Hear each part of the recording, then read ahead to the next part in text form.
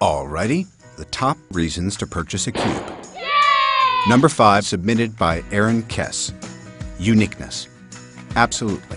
We are all unique snowflakes. Some of us are more snowflakey than ah! others.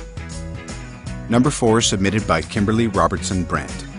It's cute as the Dickens. Where does that expression come from? Was Charles Dickens considered particularly cute? Uh-oh. What was it, the goatee? Number three, submitted by Patrick Jenkins. If you've got kids, it's the sexiest station wagon out there. Well, we all know how important it is for children to have a super sexy station wagon. Number two, Bruce Coulter. Uber practical. We would also have accepted uber roomy, uber stylish, and uber uber. Yeah. Number one, submitted by Mark Lohr. I don't do plain.